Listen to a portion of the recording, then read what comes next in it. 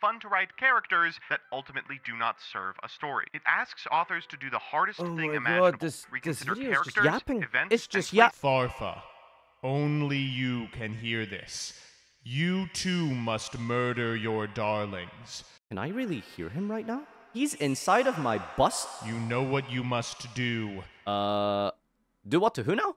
To tour guide of the underworld. I must murder my darling. I must murder. Fuck! I didn't actually mean to do that. It doesn't confirm. Oh my god! This is not a bit, by the way.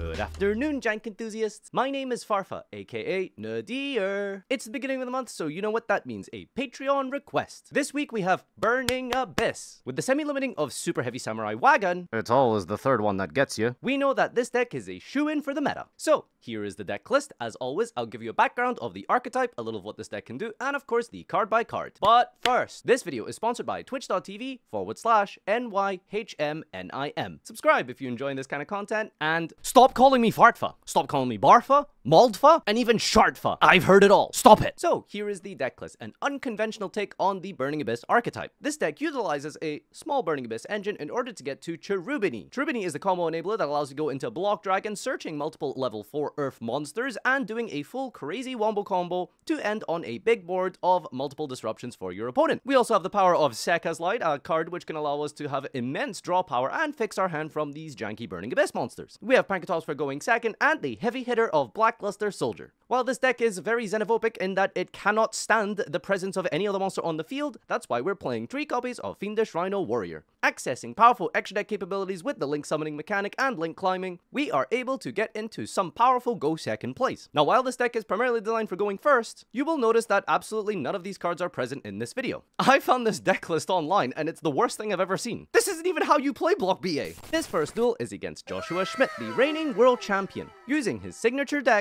Runick. We lose the dice roll here, and he's going to lead with the Flashing Fire in order to special summon a monster. He goes for the Hugin, but we chain Maxi. We have the Ghost Mourner to negate the search of the Runick Fountain to prevent the draws, but oh no, what is that? That is a Majesty's Fiend. We're not going to be able to activate monster effects for this duel, so uh, uh, that's a bit yikes. However, we do top deck the Infinite Impermanence. This is going to allow us to special summon Farfa, that's me, and also normal summoning Scarm. We're going to go for a Darius play up into Machine X. This allows us to make a monster big enough to attack over the Majesty's Fiend. Oh, but what's that? We're going to keep XE climbing with the We try and go to the battle phase and declare an attack to make a huge Zeus, but they have Synchro Zone. Gosh darn it. I guess we're going to have to use our main phase 2 to go into Tribony, special summoning out the Seer from the deck. Cagna's going to send Fire Lake of the Burning Abyss, and then we're going to go for Nightmare Unicorn, expending our last and final resource to try and finally out this last back row before we do even more plays. He goes for Jerry here. We use Seer to bring back a monster here, and they get to perform a Synchro Summon on our turn with that Synchro Zone. He goes into Chaos Angel, banishing our Unicorn, and we're kind of left with nothing here, unfortunately. He top a Majesty's Fiend, which isn't going to do anything here. He passes turn. He's walling up with the Chaos Angel, which is indestructible by battle because of the effect of the Chaos Angel being made with a light monster. We go to the battle phase and attack over with the Seven Sins. This allows us to at least conduct some kind of a play here. We go for a Zeus with six materials. In the end phase, we get a Scarm Search with our Graff. He draws for turn and gets a Pot of Desires off the top. That's pretty good. Goes to the battle phase here, clears our Zeus before we can do anything. It is unaffected, so using it would be kind of useless. He tribute summons for a Majesty's Fiend. Pot of Desires, banishing, drawing two cards, and setting two more Runicks to the field. Oh boy, what a job we've got in for us now. The Majesty's Fiend is live, so we aren't able to do anything and activate any of our monster effects, so we're just going to have to pass on this Tribony. He top decks a Clockwork Knight, which is going to be really good for his ability to attack over our monsters. He clears our Tribony, and in main phase 2, uh, does nothing. We pass over back to our turn. Oh boy, we better hope we get an infinite impermanence here. We can't do anything here, so we just set a Cagna. He draws for turn here, and it's basically curtains here unless we see an out to this Majesty's Fiend. Now, we are able to just set a monster every turn and block up the life points from being destroyed. However, it's not looking too good for us.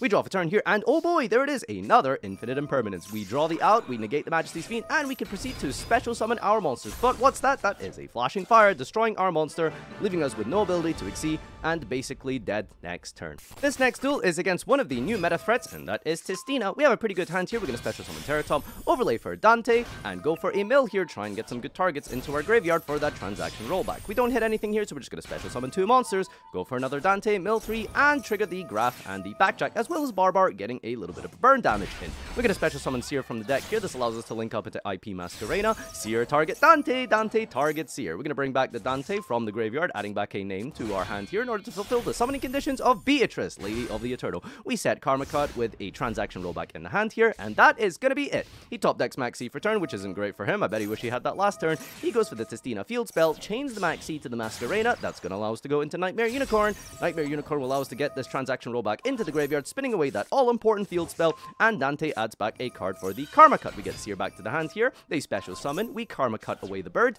and Seer triggers to bring back Dante. He activates his card effect, gets the field spell. Again, we're going to go Backjack. Backjack is going to send Fiendish Rhino Warrior. We're going to send Cagna. Cagna sends Fire Lake, and Transaction Rollback gets to copy the Fire Lake, paying half our life points to destroy two cards on the field. The field spell is protected, unfortunately. We can activate the Tistina in the graveyard, Seer target Dante, add back to the hand here to give us some resources for next turn. That's going to special summon the Crystal God, Tistina. We're going to activate Beatrice to send Farfa, Dante target Barbar, and we're going to attempt to banish the Tistina until the end phase. He special summons another bird here, destroying it, adding another Crystal God Tistina, special summoning the Crystal God Tistina, and getting the continuous spell. The continuous spell targets the Beatrice, setting it face down, and gets the Discordance of the Tistina from the deck. We're going to special summon a bunch of those monsters, uh, keep attacking directly, and whittling ourselves down to the end of the game, unfortunately losing to the half-life of Transaction Rollback. Well, it's not looking too good for us, but that's okay. We're going to head into match number three, and you know what that means. A best of three against the meta, and that is Metaphys. We're to overlay into Dante and mill 3, hit absolutely nothing, but that's okay. We've got Seer, target Dante, Dante, target Seer. Adding back a name to our hand here, not to bring back Dante to the field. This is going to allow us to discard and special summon up into Beatrice, Lady of the Eternal. We don't have anything else to set here, so we're just going to pass on Beatrice with some hand traps. Our opponent is going to activate Dimensional Fissure. That's not very good for our Beatrice, but that's okay. We can send Transaction Rollback. Soul Release is activated, a Snake Eye Tech card that we are being caught in the crossfire of. He normal summons Ragnarok, activates the Ace of Metaphys to get some boost here, activates the effect of the Ragnarok, and special summons out the Daedalus, which banishes our entire field. That's great. We're going to draw for turn here and try and hope that we get some kind of tour guide from the Underworld top deck. It doesn't look like it, so we're just going to have to set a Ghost Mourner and pass. In the end phase, he's going to activate the Ace of Metaphys, banishing and flip summoning our monster into attack mode with zero attack points. Ugh, not looking too good here. In the standby, he's going to activate a bunch of nothing effects, attack over with the Ragnarok in the battle phase, special summoning from the deck, and we die to the Metaphys.